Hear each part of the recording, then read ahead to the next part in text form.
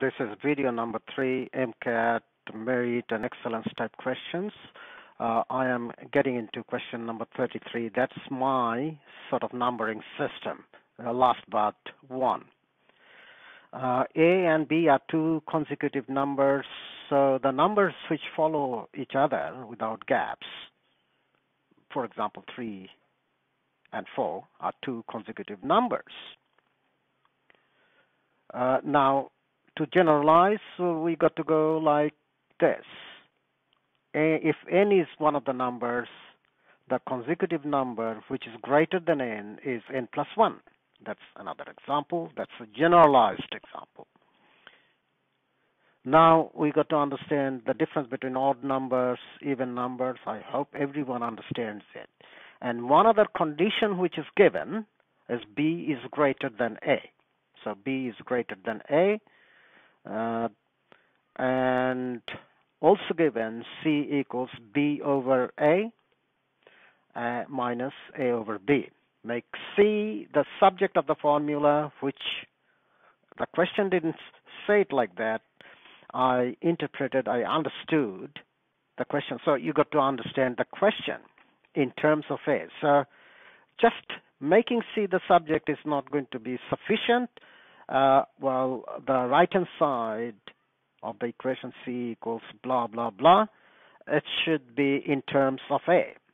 And then finally, there is a second part of the question where you got to explain whether uh, the top expression is always going to give you an even number and the bottom expression is always going to give you the odd number.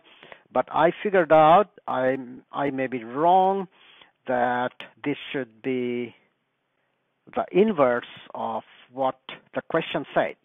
Uh, we'll talk about that later on. Okay, let's begin. So the first thing we got to do is we know something. B equals a plus 1 since they are consecutive numbers. So uh, we know the relationship between B and A. Okay, and the given thing is B over A minus A over B. So I'm going to replace, I'm going to substitute b by this one, a plus 1, because I know b is the same thing as a plus 1 divided by a minus a, a plus 1. Uh, now remember, uh, this problem can be solved in so many different ways. Uh, sometimes my ways are maybe too complicated to the young people, but let me try. Okay, so I go for highest common factor, which is multiplying this two, multiplying this two, and then cross multiplying uh, gives you a plus 1 squared minus a squared. That's my squared, sorry. Okay, now you've got to do lots of expanding. So subdivide the area. And a plus 1 squared means a plus 1 times a plus 1 and if you expand it that'll give you a squared plus 2a plus 1 uh, uh, work it out by yourself. That will be the thing. And if I expand a lots of a plus 1, that'll give me a squared plus a.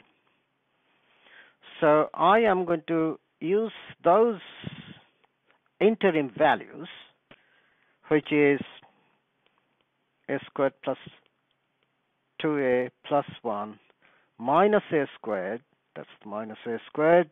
Divide that by a squared plus a. Right? Now, this 2a squared cancels out. You are left with 2a plus 1 and a squared plus a. Right. Uh, so I think we finally made C the subject of the formula and on the right hand side there is no other variable but A. So we have linked up uh, C variable C with A and we made this C the subject of the formula. Now with the second part let's look at let's try top expression 2a plus 1 if a is 1 if a is 1 that's two lots of so that'll be 3 if a is 2 that'll be 5 if a is 3 so looks like the, uh, looking at the pattern it's going to be odd numbers always odd numbers. And if you look at the bottom one okay so you are adding any kind of number with a squared number. So what is going to happen? Okay so if I try 1 1 squared plus 1 is 2 2 squared is 4 plus 2 6 so looks like these are always going to be even numbers. And uh, you can investigate further. I leave it up to you. I'll stop there